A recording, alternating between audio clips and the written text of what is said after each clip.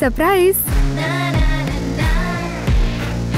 Dhotis and ஷர்ட்ஸ்னாலே boomer தான் Puma Majestic Collections, premium dhotis and shirts. சந்தோஷத்திலே பெரிய சந்தோஷங்கிறது நமக்கு எப்ப கிடைக்குது?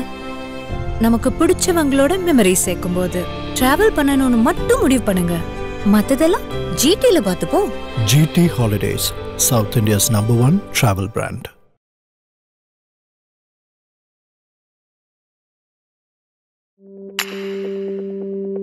Chai with Chitra.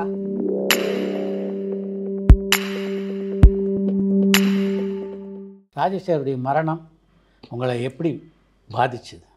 இல்லை ரொம்ப நான் வந்து பாதிக்கப்பட்டேன் சார். மற்றவங்க எப்படின்னு தெரியாது. ஏன்னா அவருடைய கடைசி மூணு நாள் அந்த ஹாஸ்பிட்டலில் நானே தான் இருந்தேன். அவர் லிவர் ஜாண்டிஸ் வந்து இருந்தது. அதை கவனிக்கலை. அவர் லிவர் ஜாண்டிஸோட மலேசியா போயிருந்தார். மலேசியா போயிட்டு அதுக்கப்புறம் பீமன்னு ஒரு டைட்டில் வச்சுட்டு படம் பண்ணுறதுக்கு டிஸ்கஷன் நடந்தது. ரஜினி படமா? இல்லை ரஜினி இல்லை அது மம்மூட்டி சுரேஷ் கோபி சிரஞ்சீவி இப்படி ஒரு காம்பினேஷன் பஞ்சபாண்டவர்களை வச்சு ஆமாம் சார் அதுக்கு வந்து கேரளாவில் இருந்து தான் வந்தாங்க ரைட்டர்ஸு அதுக்கப்புறம் ப்ரொடியூசரு எல்லாம் வந்து டிஸ்கஷன் நடந்துகிட்டு இருந்துச்சு. தர்மதுரை நூறாவது நாள். நூறாவது நாள் ஃபங்க்ஷனுக்கு அமிதாப் பச்சனை எல்லாம் கூப்பிடலான்னு எஸ் ராமநாதன் தான் ப்ரொடியூசர் ஏன்னா அவர் தான் அமிதாப் சார் எல்லாம் இன்ட்ரோடியூஸ் அவர் போய் இன்வைட் பண்ணி ஃபங்க்ஷனுக்கு வந்து அவரை ஃபிக்ஸ் பண்ணிட்டாங்க. தந்தி எல்லா பேப்பர்லேயுமே வந்து ஆடெல்லாம் வந்துடுச்சு நூறாவது நாள்லாம் இந்த பேப்பர் ஆடெல்லாம் எடுத்துக்கிட்டு அமிதாப் பச்சன் கன்ஃபர்மேஷனை எல்லாம் சொல்கிறதுக்கு அவர் வந்தார் இவர் இறந்துட்டார். அன்னைக்கு தான் இப்போ விளம்பரம் வருது எட்டு பத்துக்கு இவர் இறந்துட்டார். நாங்கள்லாம் ரொம்ப அப்செட் ஆகிட்டோம் ஒரு நூறாவது நாள் ஒரு மரணம் அதுக்கப்புறம் மம்முட்டி படம் டேக் ஆஃப் ஆனது. ஸோ ரொம்ப கஷ்டமாக இருந்துச்சு. ஒரு அதை விட்டு வெளியில் வர முடியல. எங்கள் குடும்பத்தில் ஒருத்தரை இழந்த மாதிரி. ஏன்னா தம்பி மாதிரி தான் எல்லாத்தையும் பார்த்துப்பாரு. அப்புறம் சினிமாவே வேணாம் ஊருக்கு போயிடலாம் அப்படிலாம் கூட ரொம்ப ஓ. ஆமாம் அந்த அளவுக்கு வந்தோம். அப்புறம் அவங்க ஃபேமிலியில் உள்ளவங்க அவங்க அக்- அந்த அக்காலாம் வந்து பேசி இல்லைல்ல நீ எல்லாம் அவசரப்படாத. ராமநாராயணன் சார் ரொம்ப சப்போர்ட் பண்ணார். அவனை அவங்க ரெண்டு பேரும் நல்ல ஃப்ரெண்ட்ஸு ஆமாம் அப்போ என்னை கூப்பிட்டு வந்து நீ வந்து அப்செட் ஆகாத. உன் நீ உனக்கு விருப்பம் இருந்தால் என் கூட வேலை செய்ய. இல்லை வேறு எங்கேயும் போய் ஜாயின் பண்ணணும்னாலும் ஜாயின் பண்ணிக்க அப்படின்லாம் சொல்லி அப்புறம் மணிவண்ணன் சார்கிட்ட போய் அசிஸ்டண்ட் ஆசன் எந்த படத்தில் மணிவண்ணன்கிட்ட சேர்ந்தீங்க? மணிவண்ணன்ட்ட நான் மூன்றாவது கண்ணுன்னு ஒரு படம் போனேன் சார் அவர் வந்து ஒரு நல்ல கம்யூனிஸ்ட் சிந்தனைவாதி. ஆனால் ரொம்ப பயங்கரமான வேகமாக ஓடக்கூடிய ஒரு ட்ரெயின் சார். அவர் அதில் உள்ளே உட்காந்து பயணம் பண்ணுறத விட வெளியில் தொங்கிக்கிட்டு போகிற மாதிரியே தான் இருக்கும் அவர் கூட. ரொம்ப கஷ்டமாக இருந்துச்சு. அப்புறம் ரொம்ப நிறைய பிரியமான ஒரு மனிதர் தான். நல்ல பாசமாக பழகக்கூடியவர். ஆனால் வார்த்தை பிரயோகங்கள் அவர் செட்டில் ஏன்னா ராஜசேகர் வந்து உச்சபட்ச கோபம் வந்தால் முட்டா பயலுன்னு சொல்லுவார். மணிவண்ணன் சார் சாதாரண கோபம் வந்தாலே என்ன பேசுவாங்கன்னு எல்லாத்துக்கும் தெரியும். இது எனக்கு ரொம்ப இதாயிட்டு. ஒரு மாதம் ஒர்க் பண்ணிட்டு சொல்லாமல் எஸ்கேப் ஆகி ஓடி வந்துட்டேன் அப்படியா? இது வேணாம் சரியாக வராது அப்படின்னு. அப்புறம் வந்துட்டு தான் நேராக பி வாசுகிட்ட போய் ஜாயின் பண்ணேன். வாசு சார்கிட்ட போயிட்டு கிழக்கு கரைன்னு ஒரு படம் பிரபு சார் அதில் போய் ஜாயின் பண்ணோம். அப்புறம் கிழக்கு கரையிலேருந்து நிறைய மன்னன் ரிக்ஷா மாமா திரும்ப ரஜினி சார் படங்கள்லாம் நிறைய வேலை செஞ்சேன். அப்புறம் அம்மா வந்தாச்சு இது நம்ம பூமி செந்தமிழ் பாட்டு வாழ்ற்று வெற்றிவேல் உழைப்பாளி உடன்பிறப்பு சேதுபதியை பேச நிறைய அப்படியே ஒரு இடைவெளிக்கு அப்புறம் திரும்ப ரஜினிகாந்த் பார்த்தப்போ என்ன சொன்னார்? ஆனால் அந்த மாதிரி ஒரு மனிதனை உலகத்திலே நான் பார்த்ததே இல்லை சார். நான் வந்து ரொம்ப பிரமிச்சு போய் எந்த காலத்துலையும் அதான் ஒரு ஒரு மனிதனுடைய உயர்வு வந்து எப்படி கடவுள் கொடுப்பார் அப்படின்ட்டு ஒரு கேப்புக்கு அப்புறம் போய் பார்க்குறோம். மன்னன் முதல் நாள் ஷூட்டிங்கு சிவாஜி சார் எல்லாமே உட்காந்துருக்காங்க ஃபஸ்ட்டு டே ஷூட்டிங் இவர் மேக்கப் போட்டுருந்தார். ஷார்ட் ரெடின்னு கூட போனோம். நான் தான் போனேன். பார்த்தோன்னே எழுந்துட்டாரு சார். எழுந்துட்டு எப்படி இருக்கீங்க? எப்படி இருக்கீங்க? அவங்க வீட்டில் எல்லாம் எப்படி இருக்காங்க? என்னதுன்னு அவ்வளோ நேரம் பேசுகிறாரு சார் என்ன சார்? உட்காருங்க அப்படின்னா இல்லை இல்லை நீங்களும் உட்காருங்க அப்படின்ட்டு.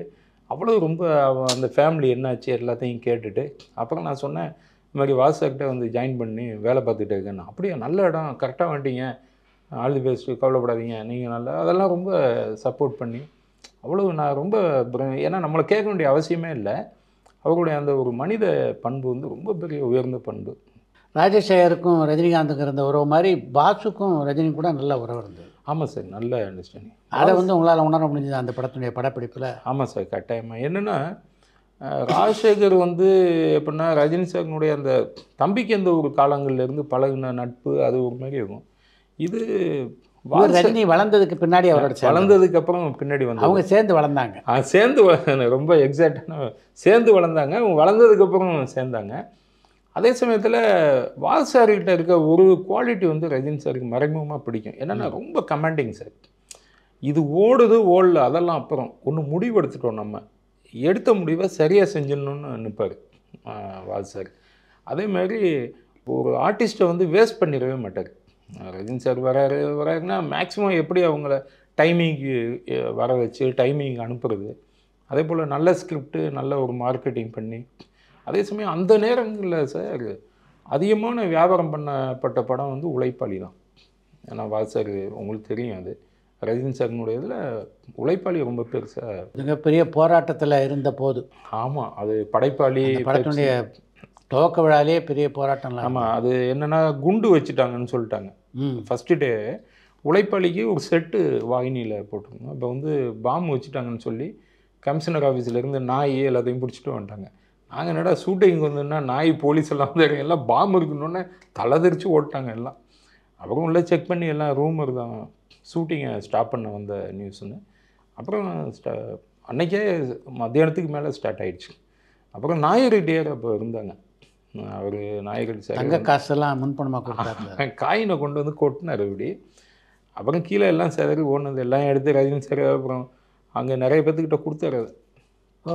ஆமாம் அவர் கொஞ்சம் காசு மட்டும் காரில் வச்சுட்டு அந்த மெமரபிளுக்காக நிறைய க காயின்ஸ் வந்து ஃபேமிலி மேன்லாம் யாருன்னு கேட்டெல்லாம் கொடுத்தாரு அப்போ. ஓ. ஆமாம் ஆமாம் கொடுத்தாரு. நாங்கள்லாம் அடடா இன்னும் கல்யாணம் பண்ணலன்னு நினச்சோம். பி வாசனுடைய பல படங்களில் கவுண்டமணியும் செந்திலும் ஒர்க் பண்ணியிருக்காங்க. ஆமாம் சார். கவுண்டமணியோட பணியாற்றிய அனுபவம் எப்படி இருந்தது? சார் கவுண்டமணி சார் வந்து எப்படின்னா எல்லாருமே ஒரு ஆர்டிஸ்டினுடைய மைண்ட் செட் எப்படி இருக்கும்னா காலையில் வந்தோடனே அவங்க டயர்டாக இருப்பாங்க. பல படம் தினமும் ஷூட்டிங்னு இன்னைக்கு சீக்கிரம் முடிஞ்சால் கிளம்பிடலான்னு நினைப்பாங்க. இவர் போகவே மாட்டார் சார். சில நாளில் வந்து கவுண்டமணி சாருக்கு முடிஞ்சு போயிடும். ஆனால் உங்களுக்கு முடிஞ்சதுண்ணே நாலு மணிக்கு ஒரு நாலரை மணிக்கு முடிஞ்சதுண்ணே அப்படியா? ஏப்பா? இல்லைண்ணே முடிஞ்சுது. வேறு ஏதாவது சீனில் சேர்த்துக்கங்கப்பா. இல்லைண்ணே ஷூட்டிங் உங்களுக்கு முடிஞ்சதுன்னா போக மாட்டார் சார் போகாமல் அங்கேயே அப்படியே பின்னாடியே ரவுண்ட் அடிச்சுட்டே இருப்பார். வா சார் முடிஞ்சு போச்சுன்னாங்க. இந்த இந்த சீனில் என்னை சேர்த்துக்கங்களேன் அங்கே ஓரமாக நிற்கிறேன் பாரு. அவருக்கு நடிச்சுட்டே இருக்கணும் சார் இதுலையாவது சும்மா நிற்கிறேன்ப்பா காமெடி தானேப்பா. காமெடிக்கு நல்லா ஏதாவது ஒன்று ஹெல்ப்பாக இருக்கும் அப்படின்னு. சரின்னு தலையாட்டினோம்னா சீனை அவருக்கு காலி பண்ணி சாப்பிட்டு போயிடும் சீன் அவர்கிட்ட போயிடும். சீன் அவர்கிட்ட போயிடும். அவர் உள்ளே வந்தாருன்னா சினிமாவை ரொம்ப பெரிய லெவலில் ஆழமாக நேசித்த ஒரு கலைஞர் நேசிச்சுட்டு இருக்கவர் தான் அவர் வந்து. இல்லைன்னா அவர் இன்னும் எக்ஸாக்டாக சொல்ல போனால் சார் கவுண்டமணியும் செந்திலும் தமிழ்நாட்டில் இருந்ததுனால ஒரு கவுண்டமணி செந்தில் சார் அவங்க ஹாலிவுட்டில் இருந்தால் லாரல் ஆல்டி சார் அந்த மாதிரியான ஒரு ஆர்டிஸ்ட் தான். செந்தில் அண்ணனும் சரி கவுண்டமணி சாருமே சத்யராஜ் படப்பிடிப்பு இருக்கும்போது உங்களை மாதிரி ஆள்கிட்ட தான் ரொம்ப நேரம் பேசிட்டு இருப்பாராம் உண்மைதானா ஆமாம் சார் அவர் வந்து அவர் அசிஸ்டன்ட் டைரக்டர்கிட்ட தான் பேசுவார். ஷார்ட்டுனா போவார். ஷார்ட்டு முடிஞ்சால் அசிஸ்டன்ட் டைரக்டர்கிட்ட வந்துடுவார் அது சுந்தரராஜன் சார் எல்லாம் ஜாயின் பண்ணிட்டாருன்னா சொல்லவே வேணாம். அவ்வளோ காமெடி அவருக்கு. அவர் என்னமோ தெரியல. அசிஸ்டன்ட் டைரக்டர் விட்டு வெளியில் போக மாட்டார். அவர் டைரக்டரு அதர் ஆர்டிஸ்ட்டு யார்கிட்டையும் போக மாட்டார். அசிஸ்டன்ட் டைரக்டர்கிட்ட தான் எல்லா கதையும் பேசுவார். வாசுவோட பணியாற்றிய போது பல கதாநாயகர்களோட பணியாற்றக்கூடிய வாய்ப்பு உங்களுக்கு கிடைச்சிது இன்க்ளூடிங் விஜயசாந்தி. ஆமாம் சார். எப்படி இருந்தது அந்த அனுபவம் கதாநாயகனோட? விஜயசாந்தி வந்து ஃபஸ்ட்டு டே முதல் நாள் ஷூட்டிங்லேயே ஏன்னா அப்போ வந்து பீக்கில் இருக்காங்க தெலுங்கில். அது வரும்பொழுதே ரொம்ப ப்ரௌடாக தான் இருந்தாங்க. அந்த கேரக்டரும் அந்த மாதிரி. ரஜினி சார் இதெல்லாம் இருக்காங்க. அந்த அம்மாவும் வந்து ஒரு சூப்பர் ஸ்டார் தான். அப்போ லேடி சூப்பர் ஸ்டார் அவங்களுடைய பிஹேவியர் இதெல்லாம் பார்த்தா நான் வால் சார் எப்படின்னா ரொம்ப மிலிட்ரி மேன் மாதிரி இருப்பார். அவங்க முதல் நாள் வந்துட்டு அப்படி இப்படிலாம் பண்ணி பார்த்தாங்க நடக்கலை. இவர் ஹீரோ ஒருத்தர் தான் இங்கே வா அப்படின்னு. வாங்க அப்புறம் அவங்க புரிஞ்சுக்கிட்டாங்க. ஸோ புரிஞ்சுக்கிட்டு நெக்ஸ்ட் டே என்ன ஆனால் ரொம்ப டஃப்பான ஒரு கேரக்டர் தான் விஜயசாந்தி. ஆமாம் ஆமாம் ரொம்ப டஃப்பு அவ்வளோ ஈஸியெல்லாம் அவங்க அந்த நிமிந்து அந்த உட்காந்தாங்கன்னா கடைசி வரையிலும் அப்படி தான் இருந்தாங்க. அந்த படத்தினுடைய கதாநாயகி எப்படியோ அதே மாதிரி தான். ஆமாம் ரியல் கேரக்டர் தான். இன்னும் சொல்ல போனால் ஆனால் நல்ல படம் அது மன்னன். என் காரை விட எனக்கு நீங்க தான் முக்கியம்.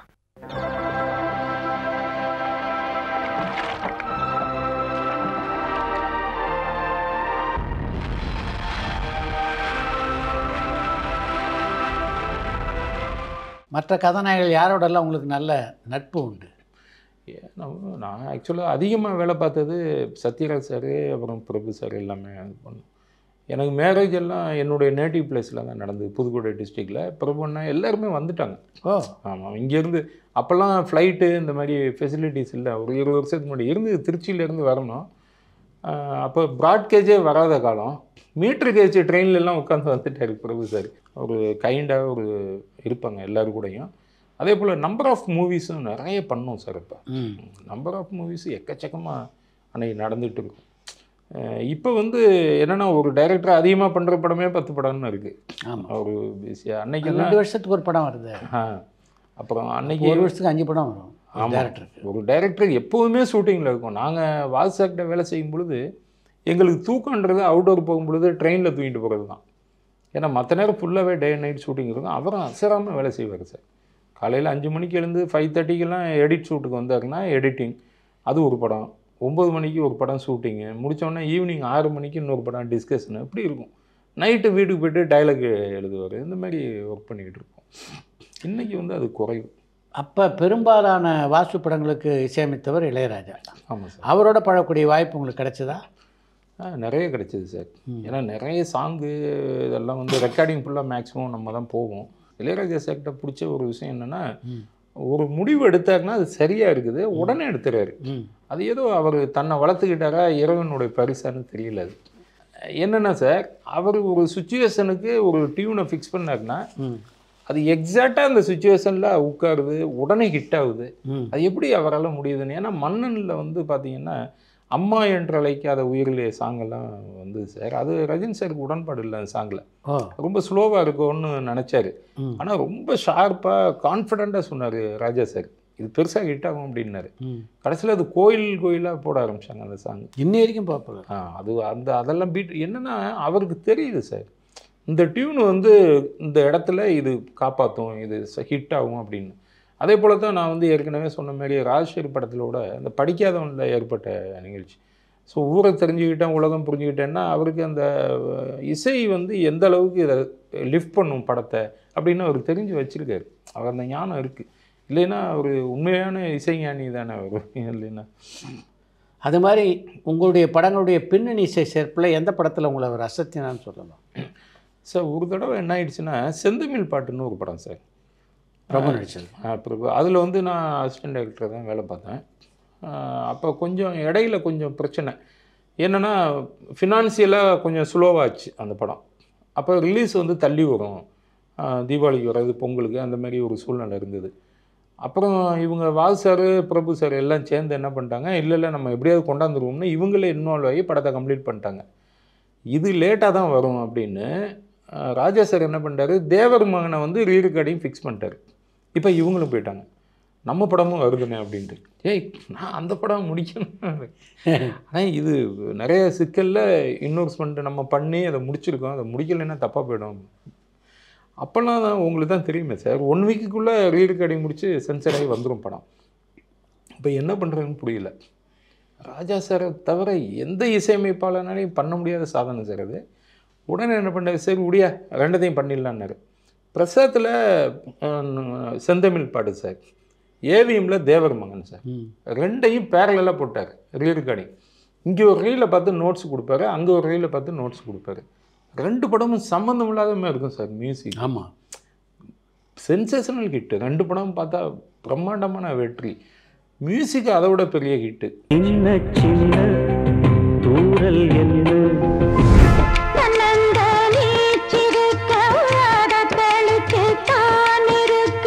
இதெல்லாம் வந்து எப்படின்னு புரியல. அவருடைய இதுதான் அது ஒரு பெரிய ஒரு மிராக்கிள்னு தான் சொல்லணும். ஆஸ் எ டேரக்டர் வாசு கிட்ட உங்களுக்கு ரொம்ப பிடித்த விஷயம்னா எதை சொல்லலாம்? சார் அவர் என்னென்னா கமெண்டிங் சார் ஃபஸ்ட்டு அது நல்லது கெட்டதெல்லாம் நம்மளோட இருக்கட்டும். யோசிக்கும் முன்னாடி நல்லா யோசிச்சுக்கோ. இதுதான் டிசைட் பண்ணிட்டா மாறிடாது. ஏன்னா ஒரு பொருளை கொண்டு போய் சேர்க்கையில நிறைய புற அழுத்தங்கள் வந்துக்கிட்டே இருக்கும். அதில் மாறினா நெளிஞ்சிரும். ஸோ எடுத்த கான்செப்டை கரெக்டாக ப்ரெசென்ட் பண்ணிடு அப்படின்னு சொல்லுவார். அதை நான் வந்து ரொம்ப ஸ்ட்ராங்காக கற்றுக்கிட்டேன் ரெண்டாவது சார் உழைப்புனா அவரை மாரி உழைக்கிறது ரொம்ப கஷ்டம் சார் ஏன்னா தூக்கம் அதெல்லாம் விட்டுருவார். அவருக்கு தெரிஞ்ச ஒன்றே ஒன்று சினிமா மட்டும்தான் சார் வேறு எதுவுமே தெரியாது. சினிமா மட்டும்தான் தெரியும் அவர். காலையில் வந்து எடிட் பண்ணுவார் கதையை பேசுவார் திருப்பி. என்னென்னா அன்னைக்கு கதையை மட்டும்தான் நம்பி சினிமா இருந்துச்சு. இப்போ தான் நிறைய கருவியில் நம்பி மாறிடுச்சு. ஸோ கதை பேசுகிறது சினிமா எடுக்கிறது. இதை தவிர எதுவுமே பேசவும் மாட்டார். அவுட் ஆஃப் சப்ஜெக்ட் எதுவுமே பேச மாட்டார் வால் சார்.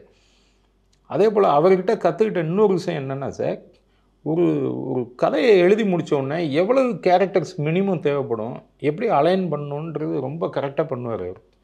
அதே போல் சினிமாவை வந்து என்டர்டெயின்மெண்ட்டாக சொல்லணும் எதுவாக இருந்தாலுமே. ராவாக சொல்லிடக்கூடாதுன்னு தெளிவாக இருப்பார். ஸோ இதெல்லாம் அவர்கிட்ட நிறைய கற்றுக்கிட்டோம் சார் எந்த காலகட்டத்தில் நாமளும் டைரக்டர் ஆகிறதுக்கு முயற்சி பண்ணணும் அப்படின்னு முடிவு பண்ணீங்க? ஸோ நாம் டிஸ்கஷன் அப்போ எப்படி நடக்கும்னா சார் வாசக்கிட்ட எல்லாம் நாங்கள் ஒரு பதினாறு பேருக்கு மேலே அசிஸ்டன்ட் ஆகிட்டு பதினாறு. அப்போ ஃபுல்லாக உட்காந்துருப்போம் என்ன கதை பேசலான்னு மத்தியானத்துக்குள்ளே பேசி முடிப்போம். இந்த கதையை பேசலான்னு ஈவினிங் முடிச்சிடுவோம். மூணாவது நாளில் ஒரு பாதி கதை நாலாவது நாளில் மீதி கதை முடிஞ்சு போயிடும் ஓ. சார் ஆமாம்மா ஒன் வீக்குள்ளே முடிஞ்சிடும். ஒன் வீக்குள்ளே முடிஞ்சு ஷெட்யூல் போட்டு ஷூட்டிங் பிளான் பண்ணிடுவோம் சார் இல்லைன்னா அஞ்சு வருஷத்தில் இருபது படம் இருபத்தாறு படம்லாம் பண்ணவே முடியாது. எல்லா படமும் ஹிட் ஆகிடும் அவ்வளோ கான்சென்ட்ரேட் பண்ணி வேலை செய்கிறதுல அப்படி ஒரு இது. இப்போ நம்ம சீன் சொல்லும் பொழுது பஞ்சு பஞ்சாக தானே நிறைய சொல்லுவோம். ஒரு சீன்னா இருபது சீன் இப்படி சொல்லுவோம். அப்போ ஒரு நாள் ஒரு கதை சொன்னேன். கார்த்திக் படம் கம்மிட் ஆகுதியா? என்னையா கதை பண்ணலாம்? அப்படின்னு பேசல சார் இப்படி ஒன்று பண்ணலாம். மைசூர் மகாராஜாவுடைய ரியல் ஸ்டோரி இருக்குது குழந்தை இல்லாத வீடு அடாப்ஷன் பண்ண வந்தாங்கன்னு. அப்படியே கேட்டார்.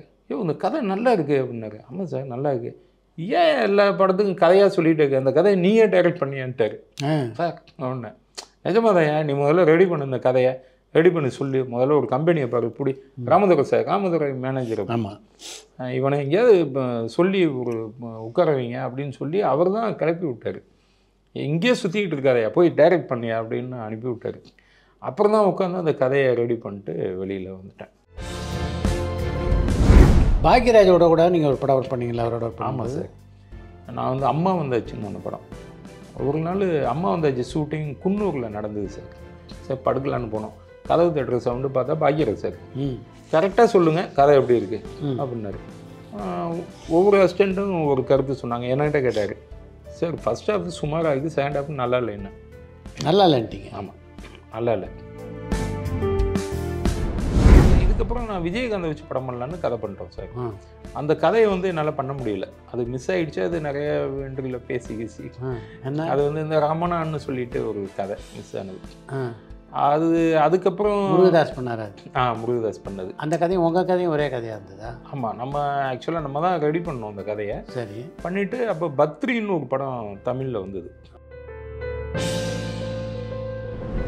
அந்த படத்தினுடைய வெளியீட்டுக்கு அப்புறம் எப்போ விஜயகாந்த் சந்திச்சிங்க இல்லை நான் ஒவ்வொரு வருஷமுமே நான் போவேன் சார். பர்த்டே போவேன். இடையில எல்லாம் எங்கேயாவது இருந்தாருன்னா போய் பார்ப்பேன். பரபரப்பான சினிமா செய்திகள் நட்சத்திரங்களின் பேட்டிகள் சினிமா வரலாறு ஆகியவற்றை பார்க்கவும் படிக்கவும் உங்களுக்கான இணையதளம் tour and talkies dot co